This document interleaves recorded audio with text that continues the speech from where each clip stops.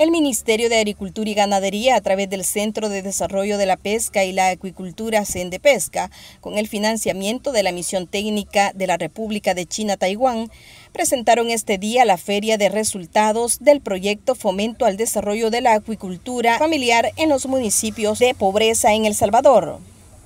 Durante este día de campo, como lo denominaron, asistió la embajadora de Taiwán en nuestro país, así como el ministro de Agricultura, Orestes Ortez, agricultores y pescadores, así como cooperativas beneficiadas con el proyecto.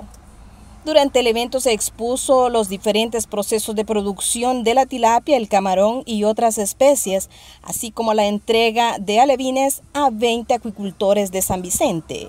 La embajadora de Taiwán, Florencia Xi, destacó que con este proyecto se tiene una inversión de más de 4 millones de dólares y se ha transmitido a los pobladores beneficiados tecnología,